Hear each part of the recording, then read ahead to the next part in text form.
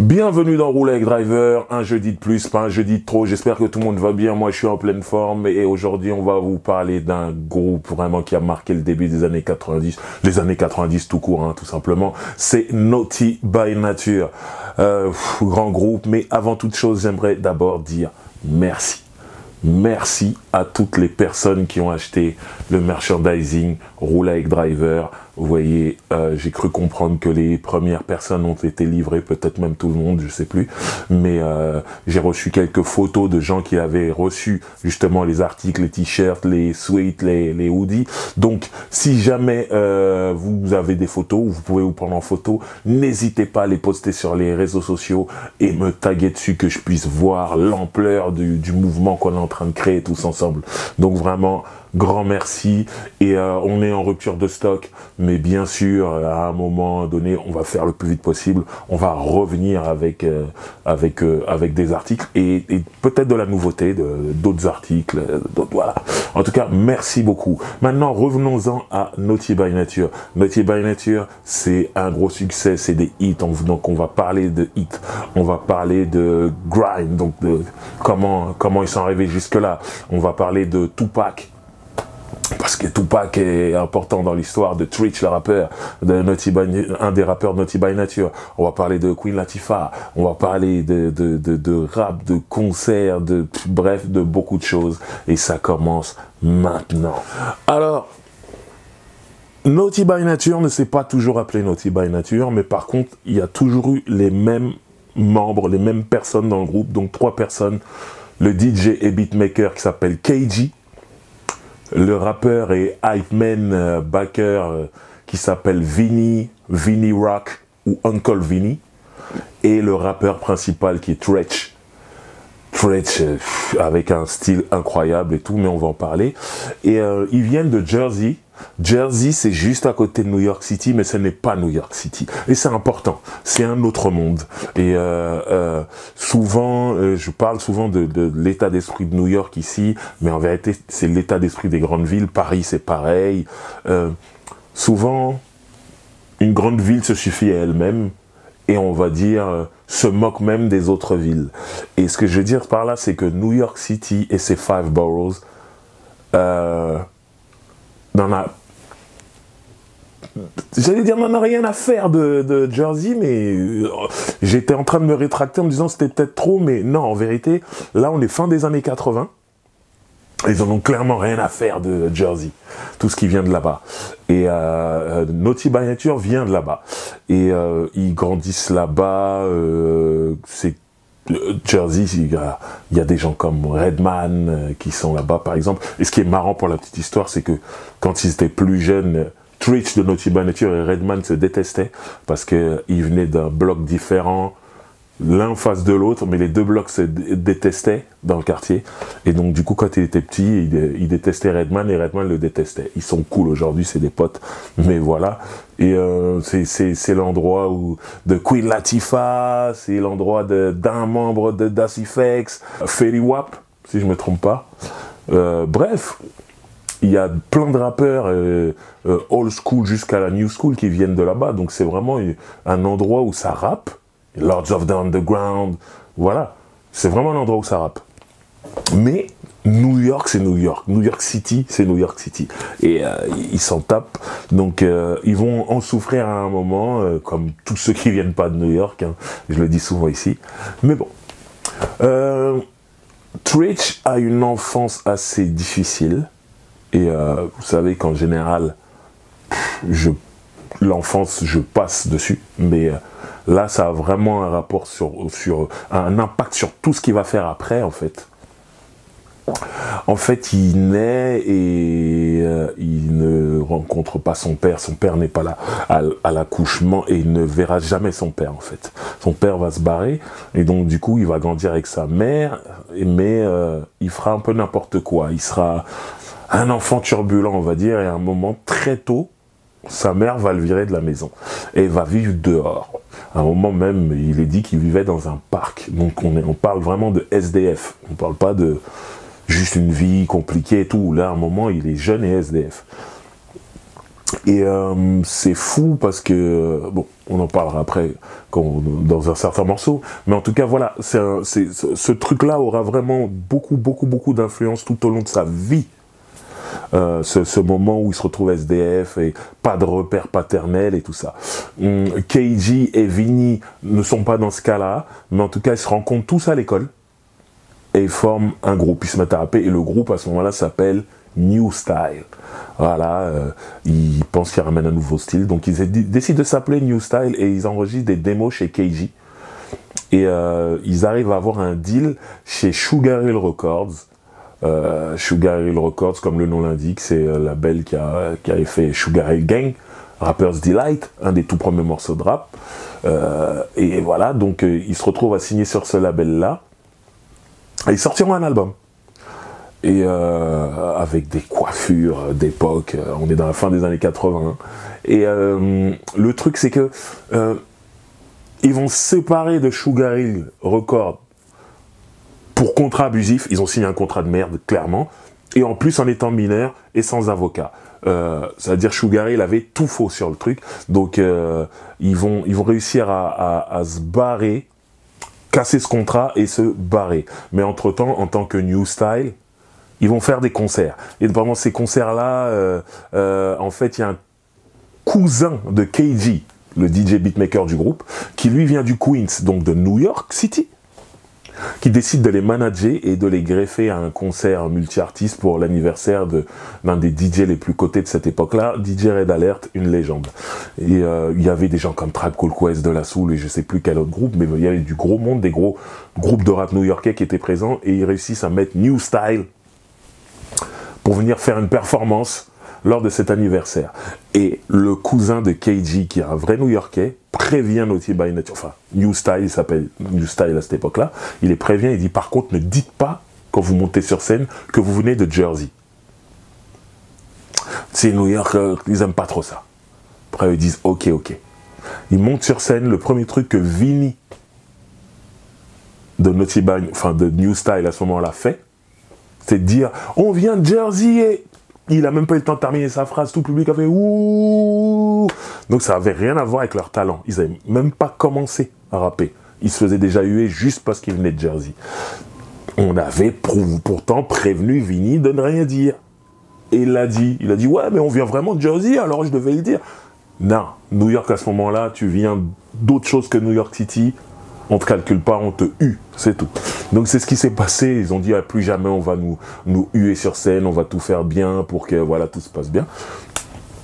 Donc euh, à cette époque-là, donc ils cassent leur contrat et ils vont se retrouver à être managés par des gens très importants à ce moment-là. Alors, ils vont se retrouver à se faire manager par le Flavor Unit. Flavor Unit Management. Qu'est-ce que le Flavor Unit?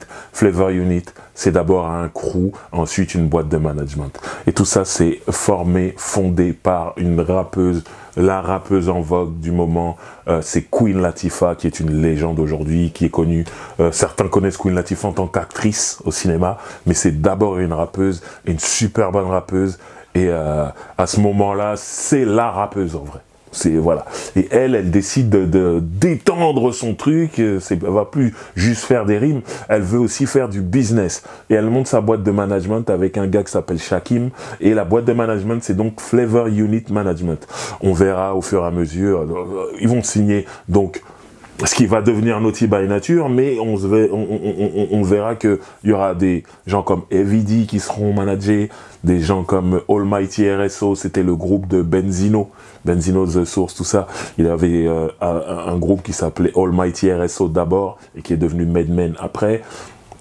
Euh, vont manager les Fushnikens, vont manager Freddy Fox. Tout ça, c'est des noms qui étaient très importants dans les années 90. Et euh, bien sûr, elle-même, Queen Latifah, sera managée par sa propre boîte. Et il y aura donc New Style qui vont rejoindre l'écurie. Et New Style vont faire partie des premiers artistes à être signés sur Flavor Unit Management. Et euh, très vite, ils vont changer de nom à ce moment-là. Ils vont devenir Naughty by Nature, déjà pour casser euh, l'époque où ils étaient avec Sugar Hill Sugar Hill Record. Donc cette époque s'appelait New Style et aussi Naughty by Nature. Pourquoi? Parce que c'est un morceau de New Style qui s'appelait comme ça. Ils ont récupéré le nom Et euh, ça sonnait plutôt bien. Et à partir de ce moment-là, ils sont donc Naughty by Nature.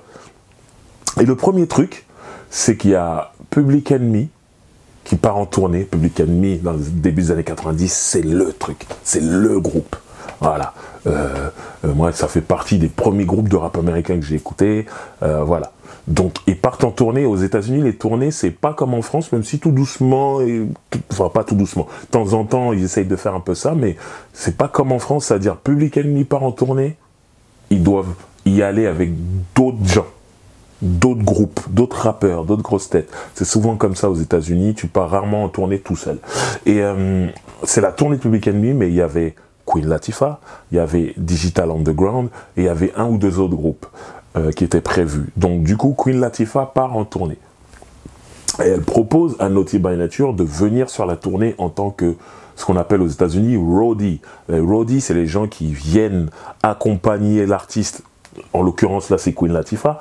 Euh, et qui viennent s'occuper de, tout ce qu'il y a autour. Euh, S'il y a des caisses de disques à porter, du matériel à porter, ben c'est Naughty by ils vont aider. Mais en même temps, ils sont là dans la tournée et ils gagnent en expérience. Ils voient comment se passe une tournée. Ils voient comment Queen Latifah agit, comment elle gère. Et c'est c'est du temps gagné pour eux quand, quand ils se retrouveront eux-mêmes en tournée. Donc c'est cool, c'est une super bonne expérience. Il y a beaucoup de, de jeunes rappeurs qui rêvent d'être roadie en fait.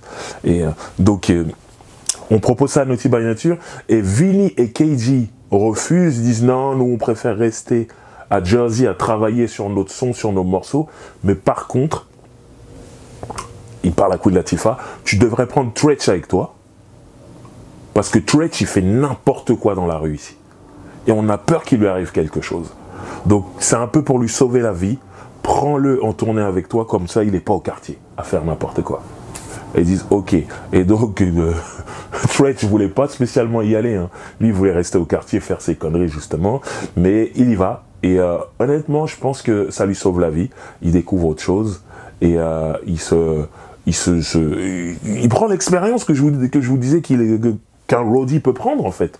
Il apprend beaucoup de choses sur la tournée. Puis surtout... Euh, au début, il est là pour porter du matériel, et puis tout doucement, il dit bon, il y a, il y a cinq minutes pendant lesquelles Queen Latifah dans son show, elle va se changer. Donc plutôt que de lui faire un entracte ou je sais pas quoi, on te fait monter sur scène, c'est ton moment, tu freestyle ou tu fais un morceau et tout. Donc il y allait aussi pour rapper et tout. Et ça arrivait à, beaucoup de gens de faire ça. Hein. Euh, Jay-Z l'a fait pour Big Daddy Kane, Big L aussi. plein de grands, grands rappeurs ont fait ça en fait. Et euh, donc du coup, Twitch euh, se retrouve sur cette tournée et ça quand il revient, il a pris en expérience et il est prêt pour la suite. Alors tout ça nous amène jusqu'à euh, jusqu'au premier album, c'est-à-dire que ça y est, ils ont travaillé, ils ont signé chez Tommy Boy, Tommy Boy qui est un gros label indépendant de l'époque euh, en termes de hip-hop. Euh, ouais, Tommy Boy, ça rigole pas. Queen Latifah y est, il me semble. Et euh, ils sont prêts à sortir leur premier album. Et d'abord, comme on fait souvent, on envoie un single. Le premier single qui va être un peu l'éclaireur, qui va être le, ce truc qui va nous dire, ok, ça va prendre tout de suite ou ça va mettre du temps et tout. Et euh, moi, par exemple, New Style, j'ai pas connu quand c'est sorti, j'ai connu après. Naughty by Nature, j'ai connu dès le début. À partir du moment où ça s'appelle Naughty by Nature, ils sortent d'abord le premier single qui sera OPP. Rat de marée. Alors, euh, je regarde un petit Rap tout le temps. Et euh, le clip vient, le clip passe, et c'est la folie. C'est nouveau, en fait, c'est nouveau. Euh, le truc, il est festif. Il a un côté club, il a un côté où tu as envie de danser, où tu as envie de, de, de, de, de sauter, tu as envie de t'ambiancer. Il un côté joyeux, il y a ce sample des Jackson 5 dedans qui te rend joyeux. Et puis, euh, il y a un rappeur, parce que c'est un solo de Tretch, en vrai. Il y a un rappeur dessus, Tretch, qui vient avec un nouveau flow. Qui vient avec une nouvelle gestuelle. qui vient avec des nouvelles sapes. Il a un trois quarts barbour incroyable. Tout le monde le voulait à l'époque. Trois quarts barbour vert. Euh, il a une gestuelle, il a un flow.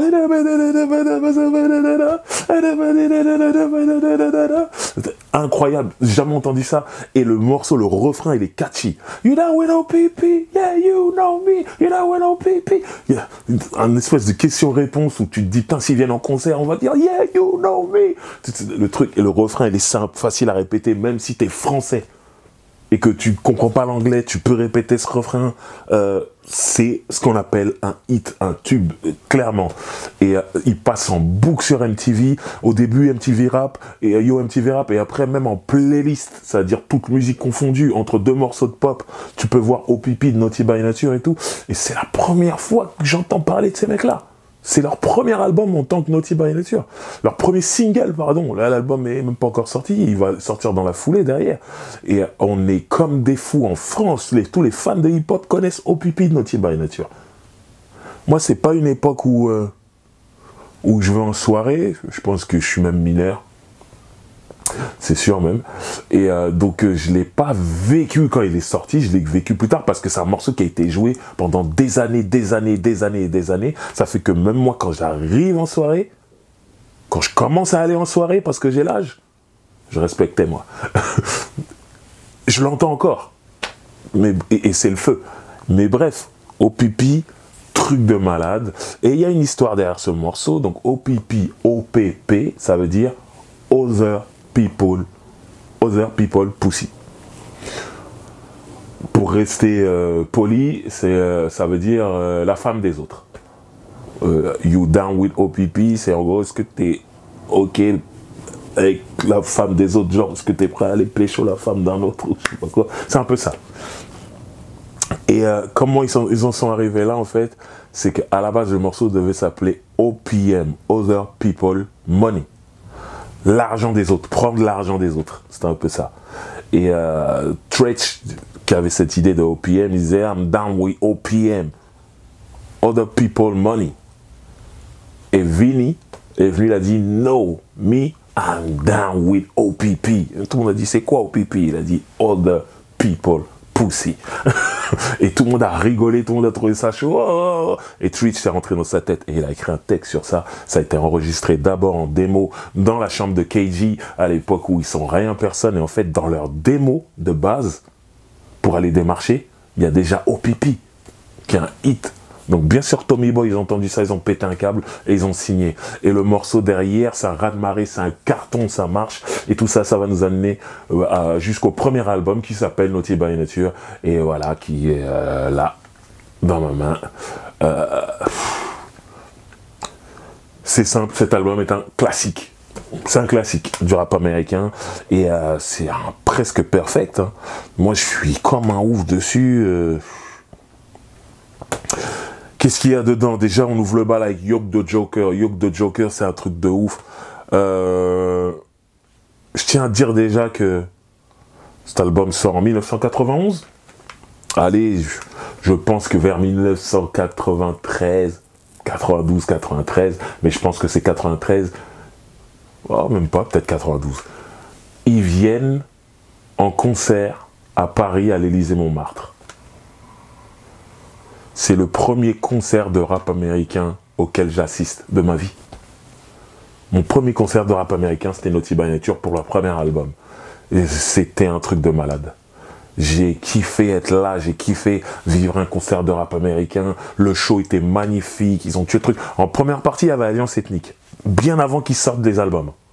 Bien avant qu'ils sortent des albums. Euh, mais ils avaient un buzz incroyable sur Paris et tout. C'était l'époque du fast flow de Kamel. Kamel rappait très vite. Et ils, ont fait la première partie.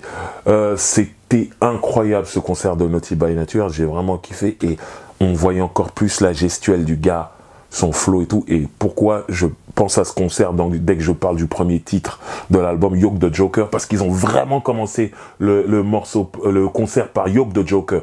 Et je me rappelle, il y avait une telle intensité. Je voyais Twitch en train de vivre ses paroles. Même si je comprenais pas les paroles, je chantais que c'était un truc profond et tout. Et euh, en vérité, en tant que rappeur, j'étais déjà rappeur en fait. Quand je suis dans la salle, je suis dans le public, mais je suis en train d'apprendre. Je suis jeune rappeur, nouveau rappeur. J'étais en train de regarder, je dis, c'est comme ça qu'il faut monter sur scène, c'est comme ça qu'il faut rapper, c'est comme ça qu'il faut vivre son truc. Et vraiment, il avait sa machette, Il a une machette qui est souvent, un coupe-coupe, qui est souvent dans ses clips, en tout cas du début. Après, des fois, il avait une batte de baseball, mais là, il avait son coupe-coupe sur scène, tout. C'était incroyable, vraiment. Et Yoke the Joker, ce morceau qui ouvre aussi le bal, il y a un truc aussi qui m'a choqué, et c'est, euh, il y a un reportage de Ice-T qui s'appelle euh, The Art of Rap. Et dans ce reportage, euh, Ice-T va voir des rappeurs connus, et il leur dit, voilà, mon, docu, il s'appelle The Art of Rap, l'art du rap. Et euh, si je te dis euh, l'art du rap, à quel couplet tu penses?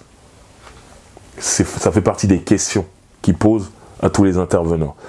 Et à un moment, il va voir Eminem, Eminem qu'on ne présente plus, on sait, gros rappeur, gros kicker, de gros lyriciste, tout ça. on lui dit à quel couplet tu penses? Et il rappe le premier couplet de Yoke the Joker de Naughty by Nature. C'est un morceau que j'aimais bien. Mais quand j'ai vu Eminem le rapper par cœur, alors qu'on est des années et des années, des décennies après, après la sortie de cet album. Hein. Et je vois que Eminem le connaît encore par cœur. Et surtout, Eminem, avec sa gestuelle, te montre les placements de Tretch. La technique de Tretch. Et tu te dis, je suis parti réécouter le morceau, je l'ai apprécié encore plus grâce à Eminem, la passion qu'Eminem avait sur ce couplet. Et je me suis dit, non, Trace, quand on fait des, des, des, des tops de MC, ouais, les meilleurs MC, on l'oublie souvent, mais quel rappeur quel rappeur Techniquement et même euh, lyricalement et tout. Donc c'est ouf. Yoke the Joker, super morceau. Euh, the Wickedest Man Alive, c'est un morceau avec une base reggae, avec euh, un refrain de Queen Latifah en mode reggae. Le morceau tue.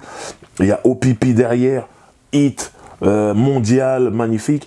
Et il y a Everything's Gonna Be Alright qui est le single suivant. C'est un morceau qui s'appelait à la base Ghetto Bastard, euh, bâtard du ghetto, pour dire qu'il a grandi sans son père et qu'il y a beaucoup de gens qui grandissent sans leur père euh, dans le ghetto.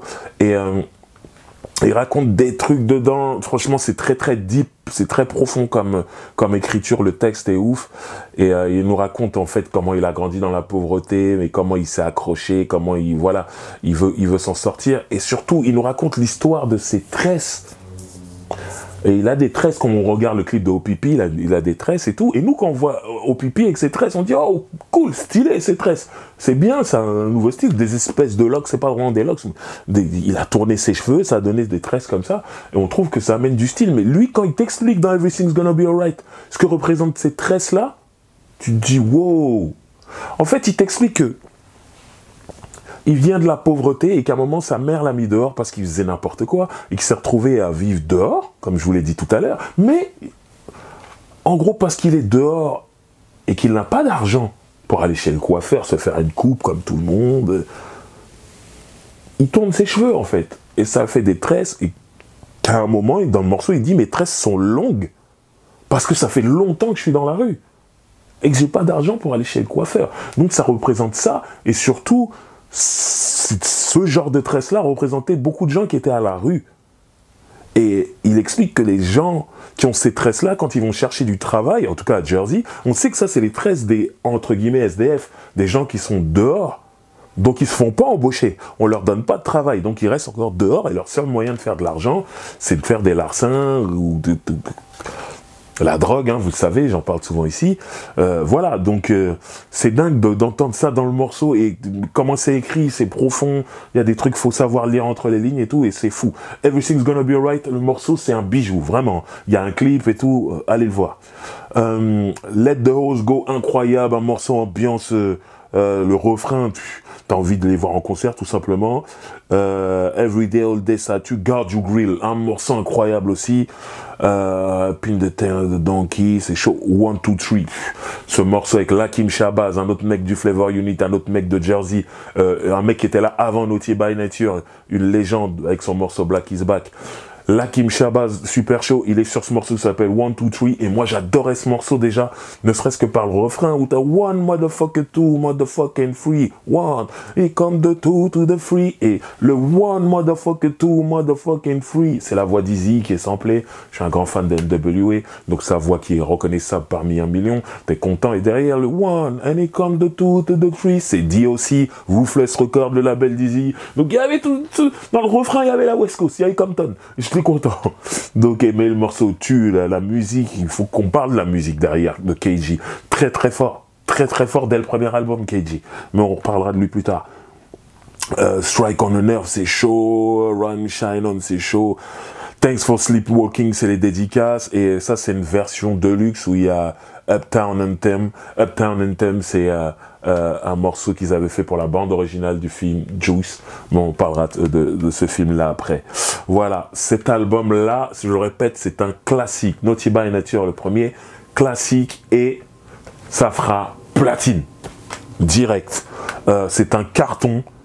Et euh, bah, les mecs sont des stars et surtout avec OPP, voilà, c'est super chaud, mais OPP c'est tellement chaud comme single que le truc que moi je me dis c'est est-ce qu'ils arriveront à refaire OPP OPP, il n'y en a même pas un deuxième dans l'album.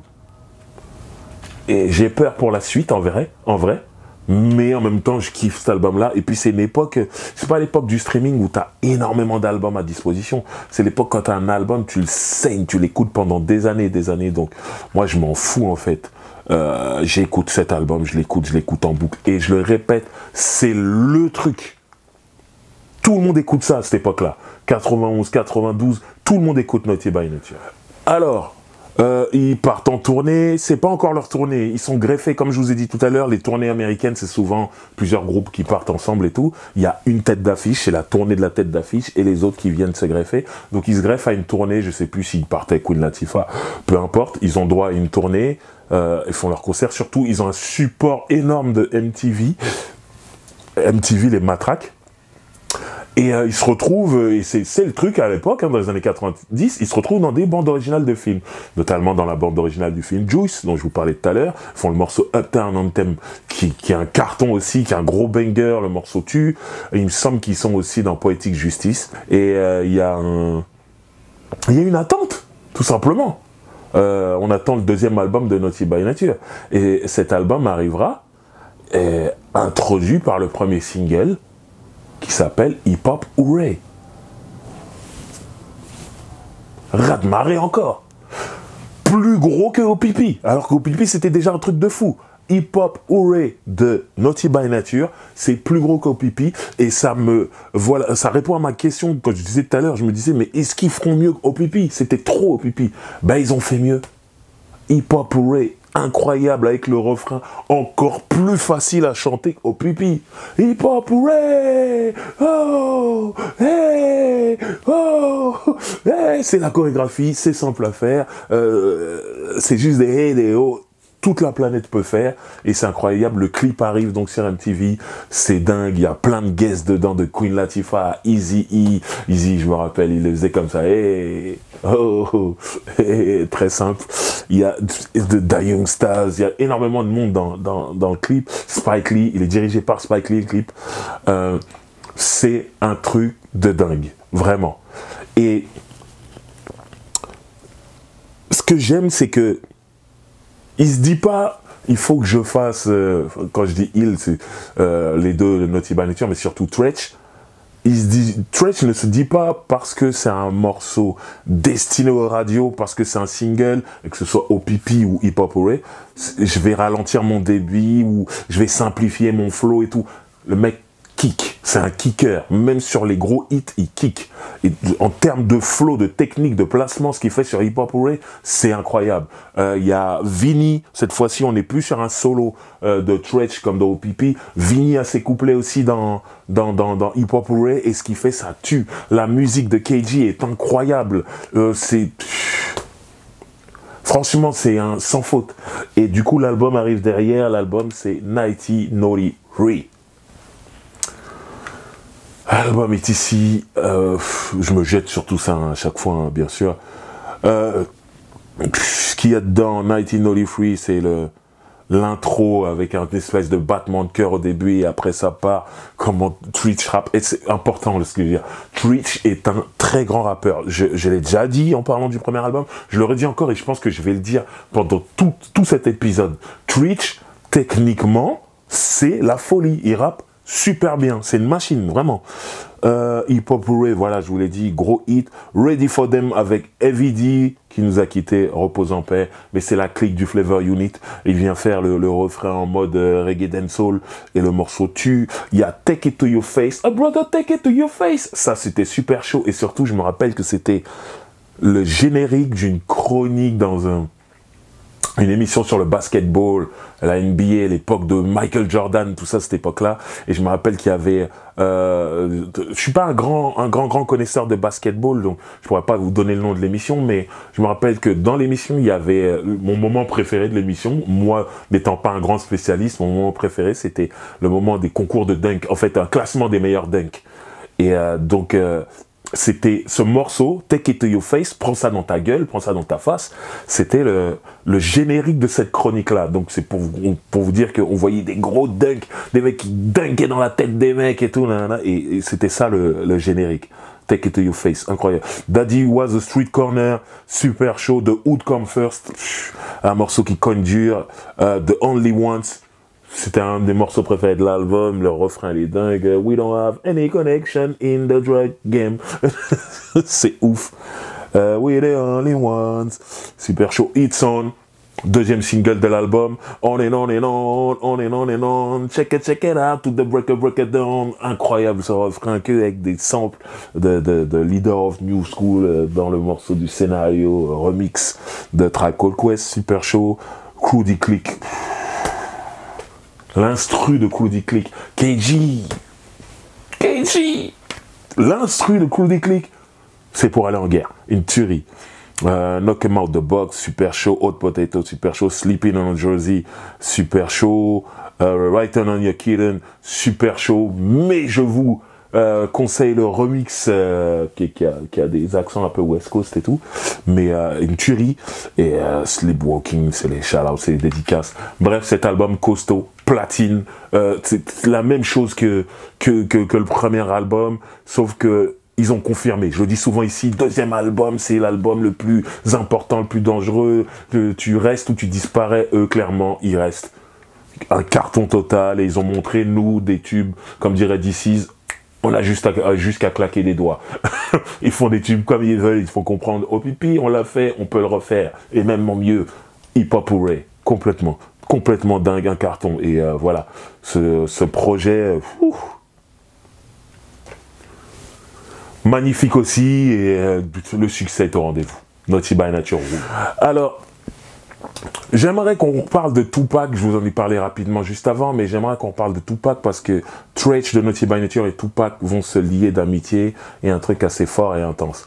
Euh, comme je vous disais tout à l'heure, Tretch se retrouve Roddy de euh, Queen Latifah et part sur la tournée donc de, de Public Enemy. Euh, avec Queen Latifah, dans l'équipe de Queen Latifah. Mais dans cette tournée, comme je vous l'ai dit tout à, l'heure, il y a Digital Underground. Et euh, Tupac est Roddy de Digital Underground et aussi danseur de Digital Underground. Et tout doucement, il commencera à être rappeur, c'est-à-dire il a un couplet en Samsung, il viendra de temps en temps rapper son couplet, mais voilà. En tout cas, au moment, à ce moment-là de la tournée de Public Enemy, il est vraiment Roddy et danseur sur Empty Ample, sur la Empty Dance de, de Digital Underground. Euh, il y a des danseurs derrière, ils font leur truc un peu marrant et Tupac fait partie de ces danseurs-là. Et donc, Tretch et Tupac vont se rencontrer pendant cette tournée et ils vont devenir potes. Ils ont le même profil, jeunes, ils ont faim, excités. Des gens qui sont, euh, voilà, qui ont le sang chaud et ils vont se reconnaître en fait l'un et l'autre. Et ils vont devenir super potes. Et euh, ce qui est cool, c'est que tout ça, ça va les amener aussi jusqu'au film Juice, où euh, ils vont participer au casting de Tupac aura clairement le rôle principal, hein, le rôle de Bishop. Euh, va faire une apparition, mais Tretch va surtout faire la bande originale du film, comme je vous disais tout à l'heure. Il y a un single qui s'appelle Uptown Anthem, c'est Naughty by Nature. Il y a un clip, si vous voyez le clip, vous verrez Tupac qui apparaît dans le clip. Et voilà, c'est vraiment, c'est vraiment des potes. Quand Tupac est à New York, ils traînent tout le temps avec lui. Après, il a d'autres gens comme le Live Squad. Euh, il traîne avec beaucoup de personnes. Quand il est à New York, Tupac, mais il traîne beaucoup avec Tretch. Et Tretch, et lui euh, se rapproche vraiment beaucoup. Et à un moment, quand, quand Tupac retourne sur la West Coast, il, ramène Tretch avec lui. Et euh, d'ailleurs, pour la petite histoire, hein, c'est Tretch qui présente euh, Face Evans à Tupac. Parce que Face Evans est de New Jersey aussi, de Jersey. Et un moment, a été même managé par Flavor Unit aussi. Donc Tretch et, et, Face Evans se connaissent très bien. Jersey, c'est un petit monde. Face Evans est sorti quand elle était plus jeune avec Redman. Vous voyez, bref, ils se connaissent tous. Mais bref, Tupac ramènera euh, euh, euh Tretch à Los Angeles et c'est de là que Tretch va devenir ami par exemple avec South Central Cartel.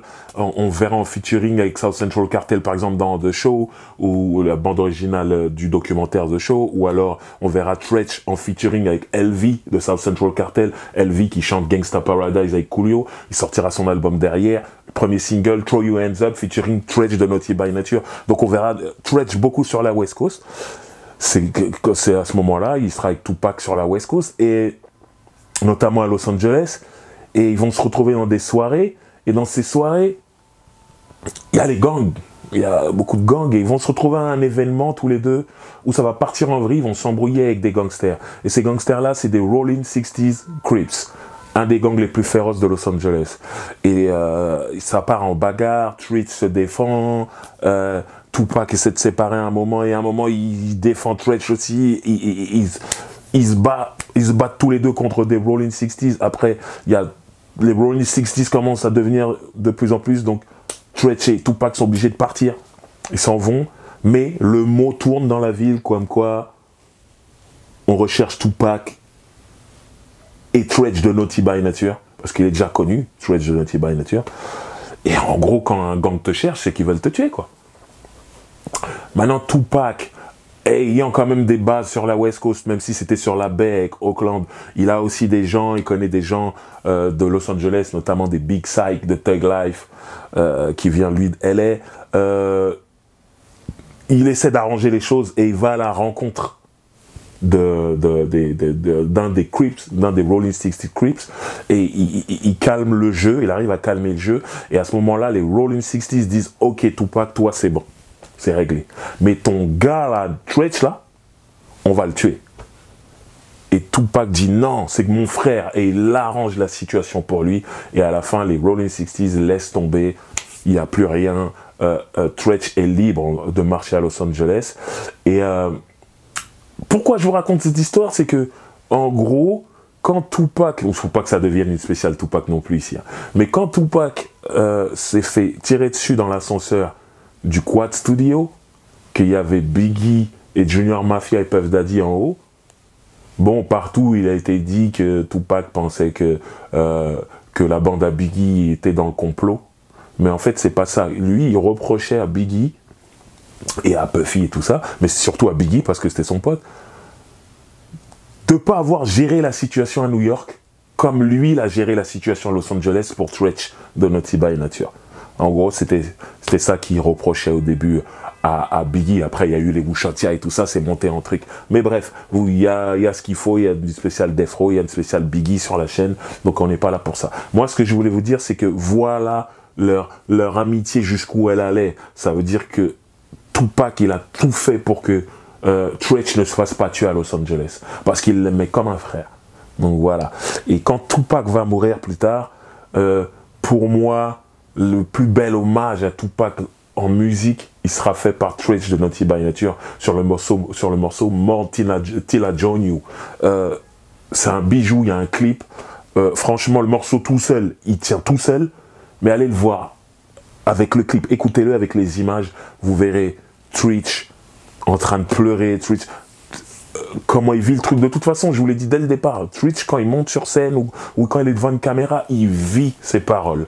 Et dans ce clip, c'est vraiment ça, c'est touchant et j'aime vraiment... Euh, moi, je suis fan de Tupac, je suis fan de Biggie, mais je trouve que, par exemple, euh, I'll Be Missing You de Puff Daddy, c'est très bien que ce soit fait pour le, le succès. Dans la forme, c'est tellement un hit. Et c'est bien, je pense que ça a aidé à faire connaître Biggie. Mais par contre, c'était pas deep, c'était pas profond. Moi, la chanson, elle me touche. Je parle de Be Missing You, elle me touche.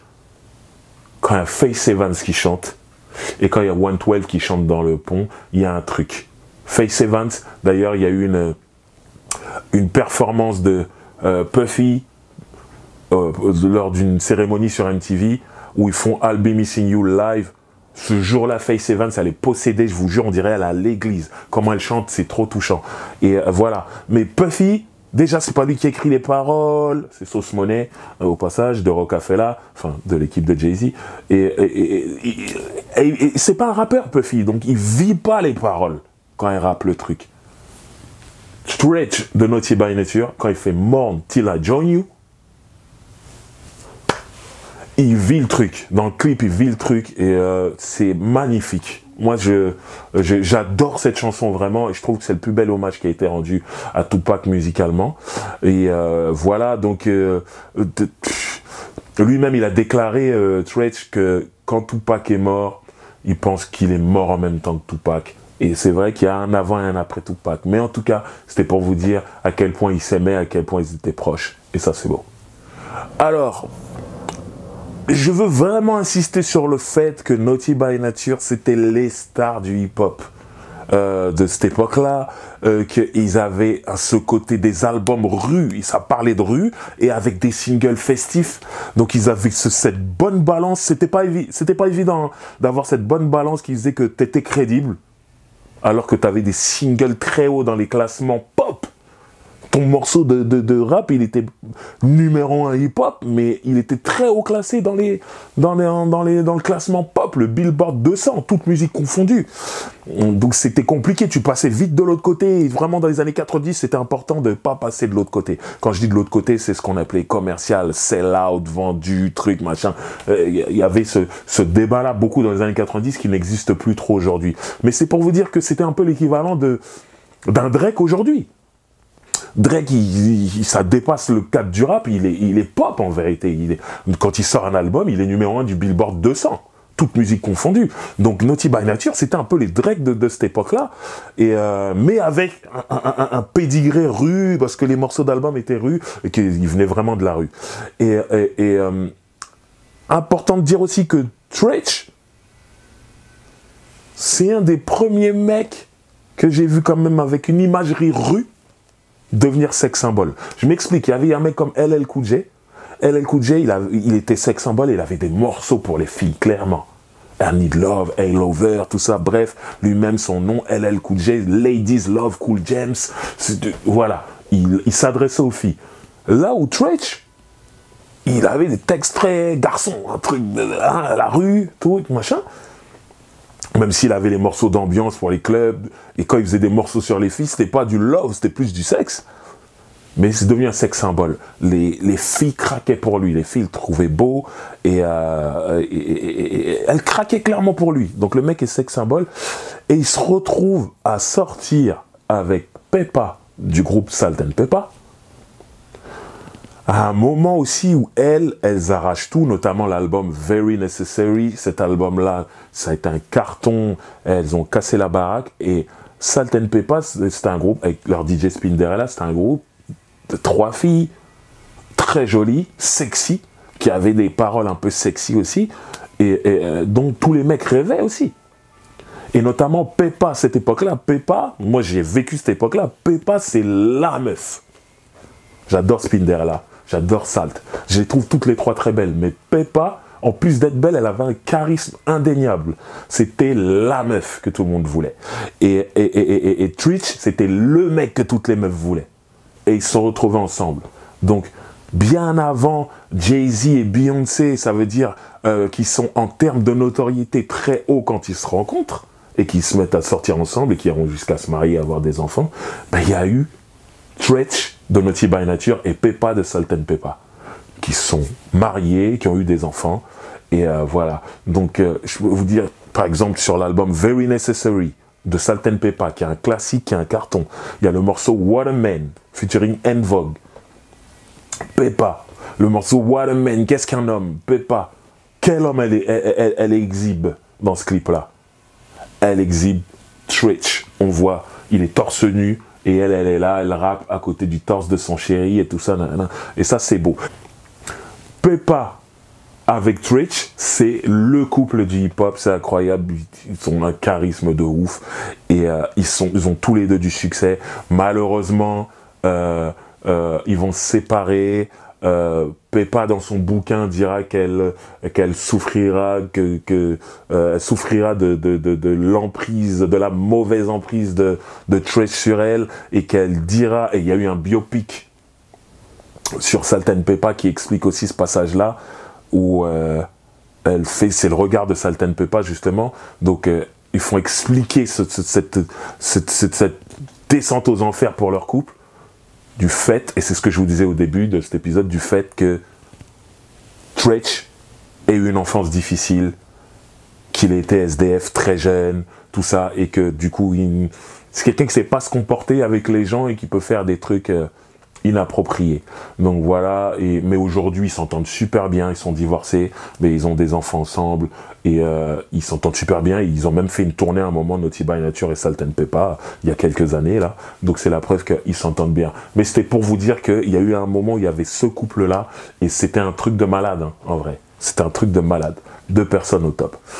Alors il est temps de revenir avec un nouvel album, et là, ça sera euh, l'album Poverty's Paradise, euh, leur troisième album en tant que Naughty by Nature, si on compte pas New Style. C'est donc le troisième album. Et euh, ils arrivent avec un premier single qui s'appelle Craziest. Oh là là là là là là là. Craziest, c'est la folie. Ça veut dire le, le... Moi, je suis toujours en train de me dire qu'est-ce qu'ils vont nous faire comme hit? Comment ils vont faire? C'est pas possible. Là, deux albums, ils ont réussi, ils avaient toujours le gros hit. Ça va être quoi cette fois-ci? Et là, j'entends Craziest. Craziest ce hit, il est différent. C'est plus un banger. Dans le sens où la musique, en vérité, elle est sombre. C'est pas au pipi, c'est pas hip hop où là on a des notes plus ouvertes, plus joyeuses. Là, t'écoutes l'instru, hmm, c'est la guerre. Le clip, MTV, je vois le clip. Le clip aussi, hmm, c'est la guerre. C'est sombre, il y a du monde et tout, machin. Mais par contre, ils ont l'art du refrain. Josie niggas are the craziest. Incroyable. Euh, ce refrain, il est ouf de Tretch. Il est complètement dingue. Donc du coup, ça reste dans la tête. Mais moi, déjà, j'entends. Et puis j'ai de l'expérience. Ça fait des années que j'écoute du rap et que je rappe aussi. J'entends que c'est pas la même chose en termes d'ouverture que les que OPP ou Hip Hop. Donc je me dis, ils auront du mal. J'adore Craziest, mais ils auront du mal. Bref, l'album sort. Poverty's Paradise. Album que je vais acheter directement. Et euh, Poverty's Paradise, c'est mon album préféré de Naughty by Nature, tout simplement. Euh, et ce qui est ouf en fait, c'est que le single ouvert tant attendu qu'ils ont l'habitude de faire et de mettre en premier single sur les autres albums, il est en deuxième single. Et c'est Feel Me Flow.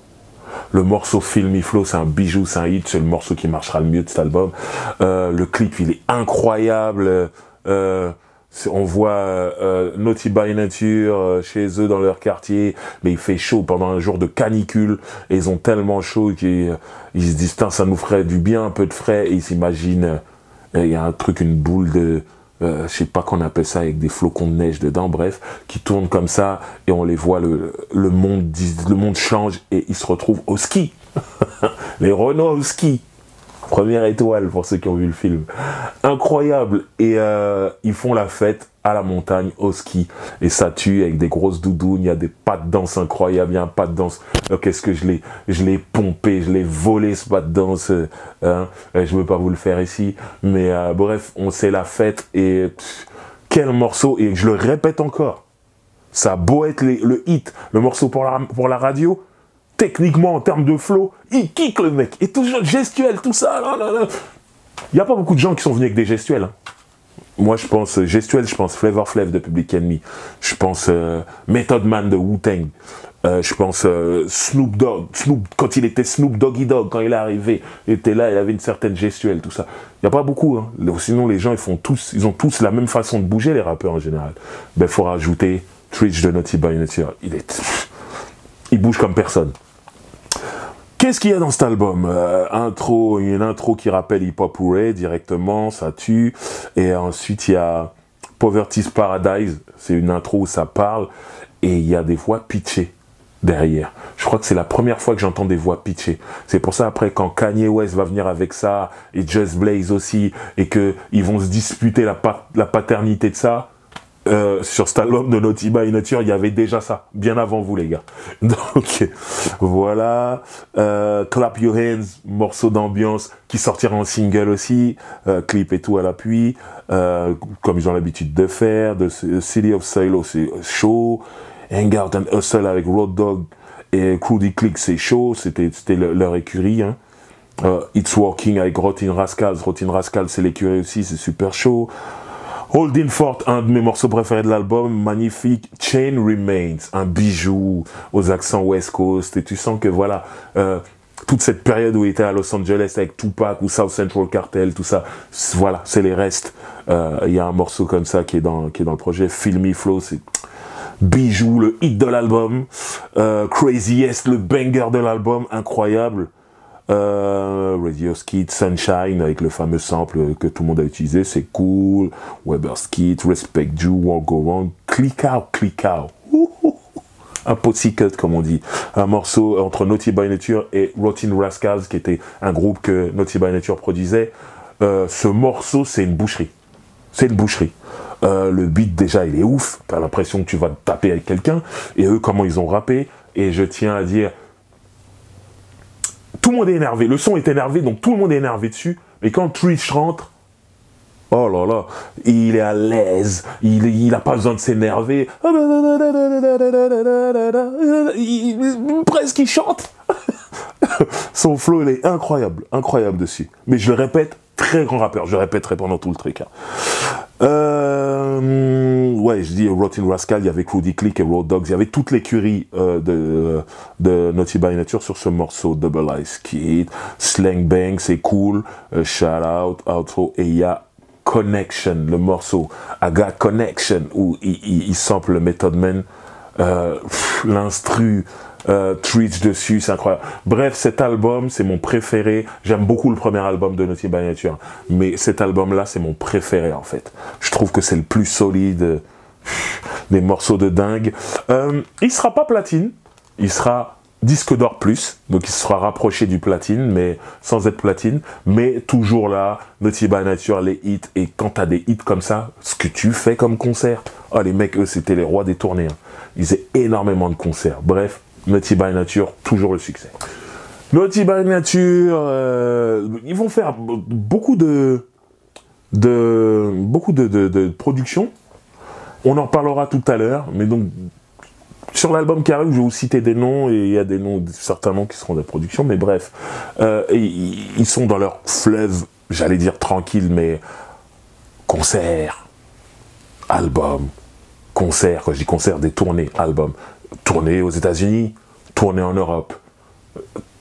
On t'appelle sur des dates en Asie, tu vas en Asie, tout ça. Voilà. Et puis surtout, un truc important, c'est que leur logo Naughty by Nature, c'est un des plus beaux logos de l'histoire du rap américain. Il y a Public Enemy, il y a Run DMC, il y a Wu-Tang, il y a Naughty by Nature. Moi, je rajouterais IPMD, je l'aime bien, il est simple et tout, mais voilà. C'est un, un bonus, on va dire. Mais Naughty by Nature, ils font partie des plus beaux logos de l'histoire du rap américain. Et, justement, ils vont vendre beaucoup de merchandising. Beaucoup de t-shirts, des, des des caleçons, des, plein de trucs comme ça. Et euh, ça sera un gros carton. Et jusqu'à maintenant, des t-shirts Naughty by Nature ou des hoodies Naughty by Nature, c'est super chaud parce que le logo est super bien. Et bref, ils vont bosser sur un nouvel album qui s'appelle Nighty Nori Nine Nature Fury. L'album est là.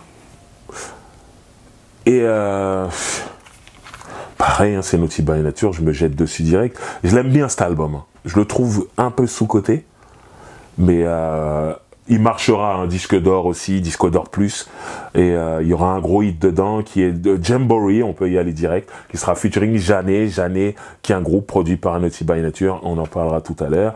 Mais bref, qu'est-ce qu'il y a sur cet album? L'intro, il y a Ring the Alarm, Ring the Alarm, déjà le morceau, les shows direct, dès le track 2, t'es déjà dedans. Euh, All by My Lonely, qui sera un single, mais ce sera le premier single, mais ce sera un truc euh, encore plus sombre que Craziest. Craziest, il y a il y avait un gros refrain. sur l'album d'avant. Mais là, il n'y a pas de gros refrain, et quand j'entends ça en premier single, je dis, mais qu'est-ce qu'ils font? Ils déconnent, ça marchera jamais, ça. Bon, comme sur le euh, Poverty's Paradise, l'album, ils avaient le gros single pour après. Il y a Holiday, qui est un single avec Finesse au refrain. Euh, là, on est dans Naughty by Nature, les singles de Naughty by Nature ouverts et tout ça et tout. Et ça, c'était cool. Euh, il y a Live or Die c'est avec euh, Masterpiece, Silk Shocker, Mystical et Finesse au refrain. Donc c'est l'écurie No Limit. Donc ils font partie des premiers gars de la East Coast à se dire il se passe quelque chose à la Nouvelle-Orléans avec ces mecs de No Limit. Et ils les ont invités. Donc ça c'est cool. Il y a On The Run, c'est un morceau que j'adore. Breakbeat, hip-hop à mort. Ça, ça tue. Et le morceau qui est un peu rock, c'est Radio. Euh, avec Rustic Overtones en featuring. Et euh, justement, dans Radio, il y a un moment, ils reprennent le flow de Run DMC dans King of Rock, c'est pas pour rien, c'est ce morceau-là qui est rock et tout. Euh, Jamboree, comme je vous disais avec Janet, le hit de l'album, euh, c'est ce morceau-là qui fait que cet album est disque d'or, on va pas se mentir. c'est un truc de ouf. Il y a Who've Done the Same for Me euh, avec Coffee Brown, qui est un groupe de RB qui est produit par euh, Naughty by Nature, on en parlera après. Il y a Tugs and Hustler avec euh, Mag et Crazy Bone. Donc voilà, il se, il se penche aussi vers le Midwest avec Bone Tugs and Harmony. Work avec Mag et Castro. Il y a Who Could Do It avec Big Punisher magnifique, un morceau un peu sexy. Il n'est pas crédité là, mais il me semble que c'est Tony Sunshine de Terror Squad qui fait le refrain. Euh, The Blues avec Next. Quel morceau. Ça, c'est pour les kiffeurs de RB. Le morceau, il est dingue. Next, groupe de RB produit par Naughty by Nature aussi. Wicked Bounce, c'est chaud. Euh, Live Denley avec Finesse. Euh, ok, The Shivers avec Chain Gang Platinum. album très cool. Trouve sous-estimé parce qu'il y a des très bons morceaux dedans. Après, il y a tellement de. Les trois premiers albums de Naughty by Nature sont tellement chauds que celui-là, on, on, a senti un peu une baisse au niveau de l'engouement. Mais euh, en vrai, c'est disque d'or, il y a le succès, il est certifié, et c'est cool, et ça fait que Naughty by Nature continue son bonhomme de chemin. Ce que j'ai oublié de vous dire, c'est que l'album euh, 1999 de Nature's Fury, est un album qui est sorti chez Arista. Donc ils ont quitté Tommy Boy. Les trois premiers albums de Naughty by Nature sont chez Tommy Boy. Et ensuite, c'est la fin de leur contrat. Ils vont chez Arista, Arista qui appartient à BMG. Et euh, aujourd'hui Sony, donc Sony BMG ensemble. Et du coup, ils font leur... Euh, ils font euh, cet album-là là-bas, qui, leur amène un disque d'or, cool. Mais ils quittent Arista. Et à partir de ce moment-là, Twitch décide de rentrer vraiment dans les comptes du groupe, de s'intéresser un peu plus au business, à l'argent, et du coup, en mettant son nez, il va commencer à reprocher des choses en mettant son nez dans le business à KG, en disant que KG euh, prend plus d'argent qu'il devrait en prendre, c'est pas normal, et machin, et tout ça. Et du coup, euh, il y aura une embrouille entre Twitch et KG, et KG, et va décider de quitter le groupe. Il dit si c'est comme ça, je m'en vais. Et je peux vous assurer que c'est une grosse perte, parce que c'est lui qui faisait toutes les musiques de Naughty by Nature. Et les musiques de Naughty by Nature tuent. Euh, il a produit pour Queen Latifah. Bref, il a un truc, il, est vraiment, il a un son, il est trop fort. Et pour moi, c'est le son de Naughty by Nature. Tretch s'embrouille avec lui. KG quitte le groupe. Et là, euh, il se passe un moment où voilà, on attend, on n'entend plus trop parler de Naughty by on attend le retour, mais surtout, il y a une autre vague de rappeurs qui est arrivée. Donc c'est plus eux qui sont à la mode, c'est des icônes, il n'y a pas de problème. C'est-à-dire quand ils vont sortir, il y aura un intérêt. Mais il y a d'autres jeunes rappeurs qui sont à la mode à ce moment-là. Donc euh, voilà, KG n'est plus dans le groupe. Alors, ils vont sortir un nouvel album qui s'appelle Icons sans KG c'est-à-dire sans la musique de Naughty by Nature. L'album est ici. Ils seront chez TVT, qui est un gros label indépendant qui a eu du succès avec Lil Jon, par exemple, and the Side Boys, et Pitbull. Voilà, ils sortiront leur album là-bas. Euh, la pochette, vous pouvez voir, ils sont que deux. C'est bizarre. Euh, j'aime pas cet album, même s'il y a des bons morceaux, il y a deux trois bijoux dedans, mais l'album il va dans tous les sens. S'il n'y a plus KG, ça s'entend tout de suite. Euh, il y a Lil Jon qui, qui, va produire un morceau. Euh, euh, j'aime beaucoup Lil Jon, c'est Wild Motherfuckers, mais c'est pas un album de Nature. Bref, qu'est-ce qu'il y a dedans? Icons, ça m'a pas marqué. Il y a Rock and Roll avec Redman et Method Man. C'est cool hein, qu'il Redman et Method Man. Je vous ai dit, hein, Redman et, et, et, et Tretch détestaient quand ils étaient petits. Et finalement, voilà, ils, ils, partagent le micro et tout, c'est cool. Mais le morceau m'a pas marqué. Uh, What You Wanna Do avec Pink. Le morceau est pas mal. Il y a Swing Swing. Le morceau est cool. Il est même bien, on va pas se mentir. C'est un bon morceau.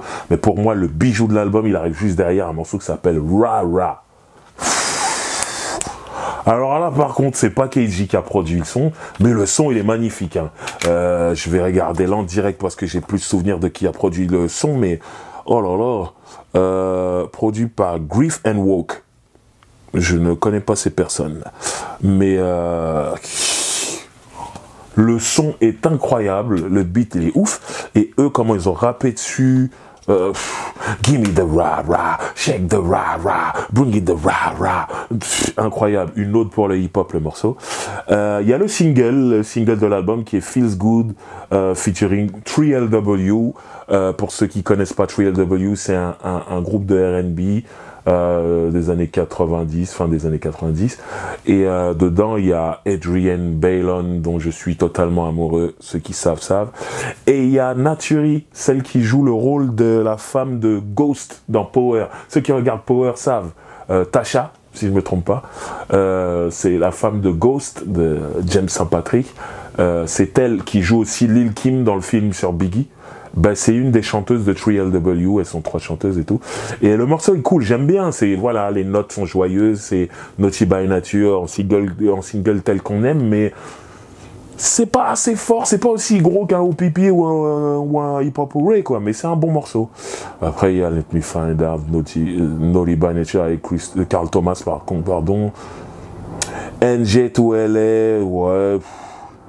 Red Light avec Queen Latifah, ouais, non, là on a des morceaux bof. Euh. J'arrive même pas jusqu'à la fin. C'est l'album de Naughty que j'ai pas spécialement kiffé. Euh, ils sortiront derrière ça, mais une mixtape un peu plus tard. Naughty, Naughty by Nature sortait jamais de mixtape. Ça y est, on est dans la fin du succès de Naughty by Nature. Ils vont sortir un album après pour les 20 ans ou les 25 ans du groupe.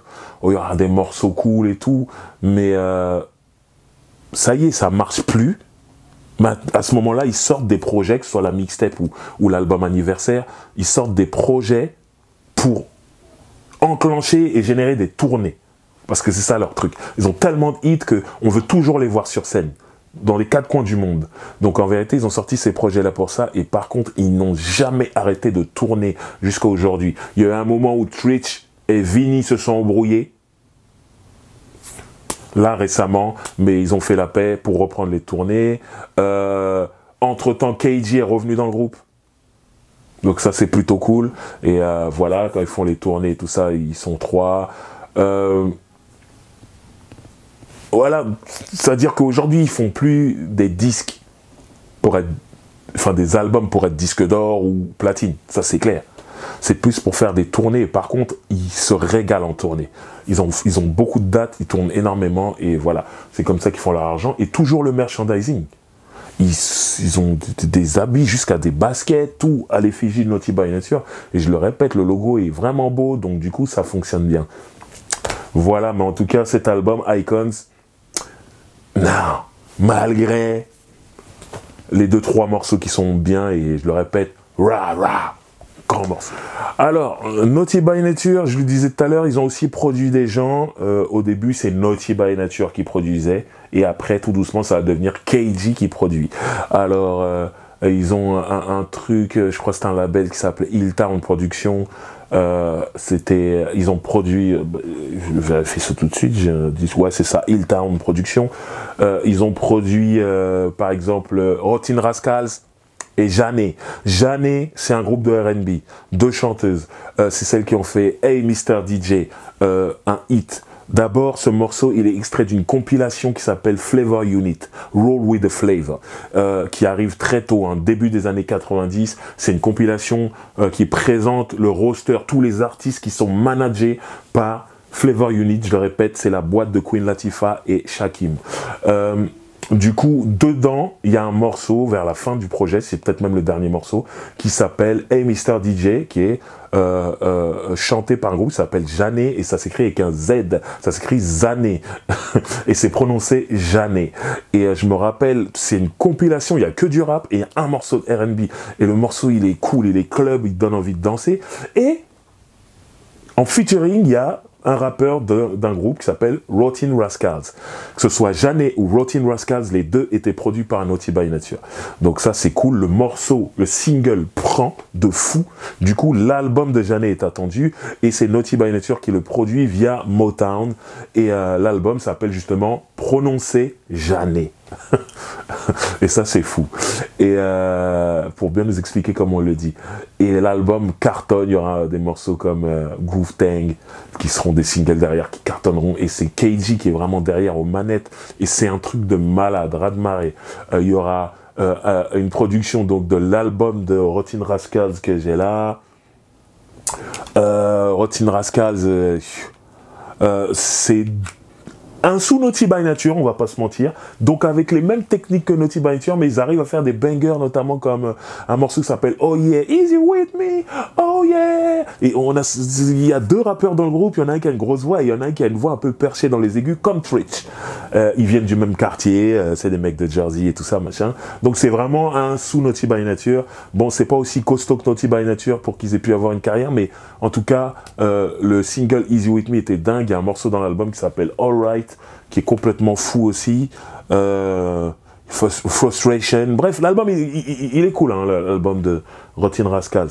Euh, ensuite, il y a quoi d'autre? Il y a Next, groupe de R&B à succès, notamment avec le single Too Close.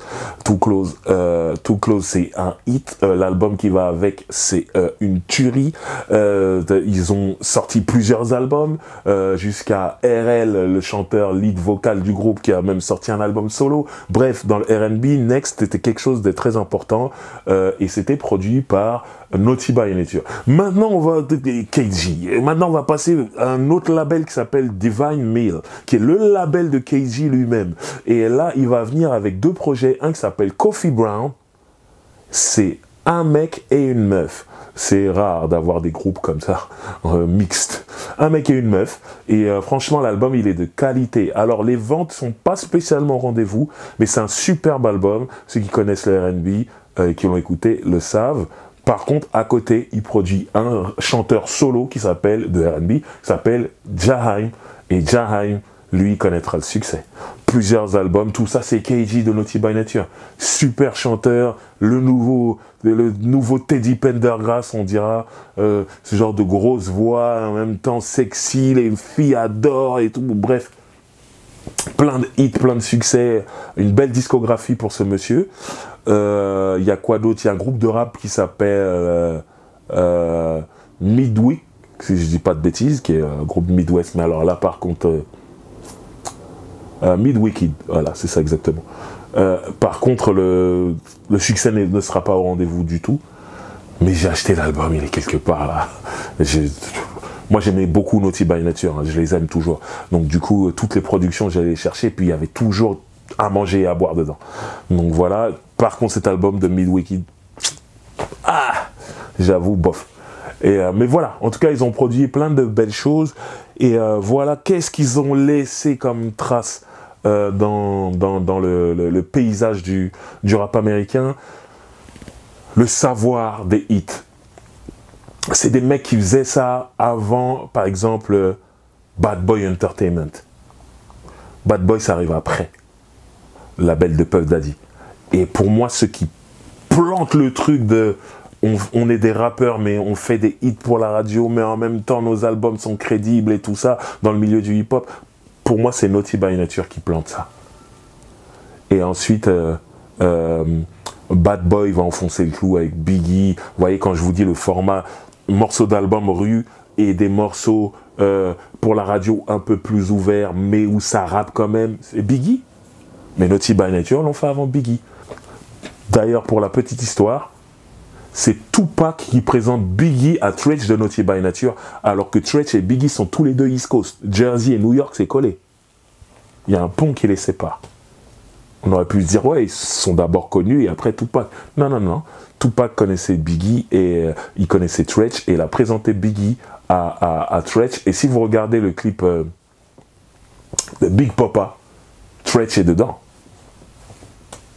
Donc euh, voilà. Et déjà ça, et puis je le répète, des albums solides, des classiques, le merchandising, ce superbe logo. Franchement, Naughty by Nature, super chaud. Moi, je n'oublierai jamais que c'est le premier concert de rap américain que je fais, que je vais voir. C'est Naughty by Nature et été pas déçu. J'aurais pu tomber sur un concert nul et tout. Non, non, je suis tombé sur ce concert et c'était magnifique.